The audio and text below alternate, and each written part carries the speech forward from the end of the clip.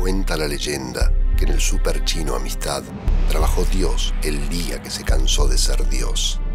En su primer día hizo la luz. El segundo creó los subtítulos. Dio vida al sector carnicería y a Héctor, su encargado. Con sus milagros sanó billeteras e hizo del caos el orden. Llegado el séptimo día, decidió descansar y con su lugar vacante llegó su reemplazo. Boomerang.com, donde todos encuentran trabajo.